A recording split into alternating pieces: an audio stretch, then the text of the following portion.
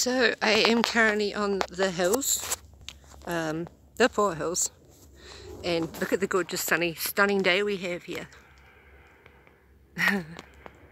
so much beautiful scenery to be seen, and it's so nice and sunny, it's lovely. Gorgeous day today in Christchurch, absolutely beautiful, stunning weather. And look at our stunning scenery. We are so lucky to have such beautiful scenery here in Christchurch, New Zealand.